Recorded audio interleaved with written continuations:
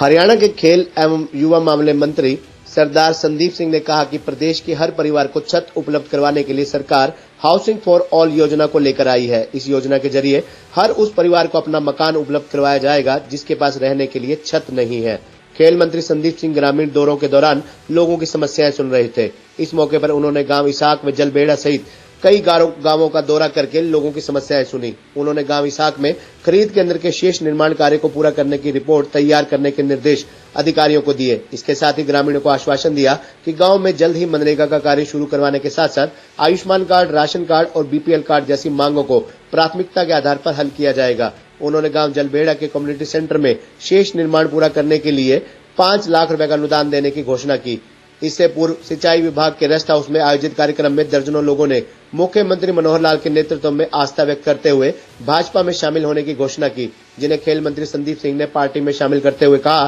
कि सभी लोगों को मान सम्मान दिलवाने की ज़िम्मेदारी उनकी है। खेल मंत्री ने बताया कि सरकार द्वारा शुरू की गई विभिन्न आवास योजनाओं को सम्मिलित करके सभी के लिए आवास विभाग नामक एक विभाग स्थापित किया जाएगा। आवास बोर्ड हरियाणा द्वारा बीपीएल ईडब्ल्यूएस के लिए आवास योजना, शहरी स्थानीय निकाय विभाग की राजीव आवास योजना, ग्रामीण विकास विभाग की प्रधानमंत्री आवास योजना, पंजीकृत निर्माण के लिए आवास अग्रिम योजना जैसे कई विभागों द्वारा हरियाणा भवन एवं निर्माण, श्रमिक कल्याण बोर्ड व हरियाणा शहरी विकास प्राधिकरण की आशियाना योजना, एससी और बीसी कल्याण विभाग द्वारा घर की मरम्मत के लिए दी जाने वाली डॉक्टर बी आर अंबेडकर आवास नवीनीकरण योजना सहित सभी योजनाओं के ज़रिए हर व्यक्ति तक छत पहुंचाई जाएगी। उन्होंने कहा कि ठेकेदारों के चुंगल से बेरोजगार युवाओं को बचाने के लिए सरकार ने निगम पोर्टल शुरू किया है, जिसे परिवार पहचान पत्र से जोड़ा जाएगा। इससे सरकार को उन बेरोजगार युवाओं का डाटा उपलब्ध हो पाएगा, जिन्हें सही में परिवार की आर्थिक हालत के चलते रोज़गार की ज़रूरत है। ऐसे युवाओं को आवेदन करते ही सरकार प्राथमिकता के आधार पर रोज़गार उपलब्ध करवाएगी। इस मौके पर ग्रामीणों की तरफ़ से जो समस्याएँ रखी गई, उनके समाधान के लिए तुरंत अधिकारियों को निर्देश खेल मंत्री की तरफ़ से दिए गए। निगम रेट हो चुका है और निगम रेट के अंदर जो हमारी निगम ऐप है,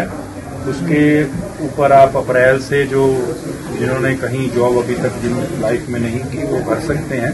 उसके हिसाब से जो आपके परिवार की इनकम है, क्योंकि पहले क्या होता था,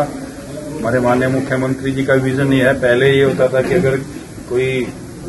डीसी रेट पे है, उसकी ज़मीन भी है, उसके घर में खेती बाड़ी भी है, डंगर भी हैं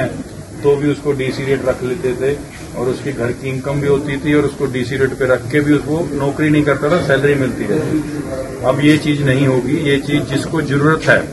जिसके परिवार को ज़रूरत है, उसको मिलेगी। इसका बहुत लाभ भी होगा और जो लोग इसका खबरनामा लेने के लिए पिहोवा से अभिषेक पूर्णिमा की रिपोर्ट।